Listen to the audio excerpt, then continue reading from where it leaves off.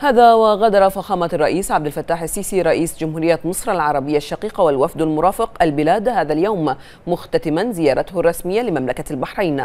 وقد تلقى حضرة صاحب الجلالة الملك حمد بن عيسى آل خليفة عاهل البلاد المفدى حفظه الله ورعاه برقية شكر من أخي فخامة الرئيس عبد الفتاح السيسي رئيس جمهورية مصر العربية الشقيقة.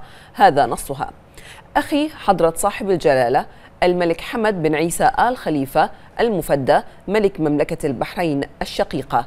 يسرني ونحن نغادر بلدكم الشقيق أن أبعث إلى جلالتكم بخالص الشكر والتقدير على حسن الاستقبال وكرم الضيافة الذي لقيناه منذ وطأت أقدامنا أرض مملكة البحرين الشقيقة والتي طالما نعتبرها وطننا الثاني.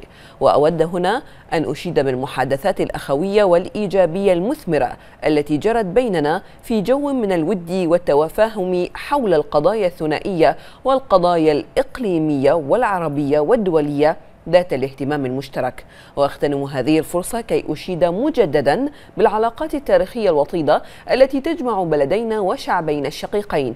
وأؤكد حرصنا الدائم على المزيد من دعمها وتطويرها في جميع المجالات.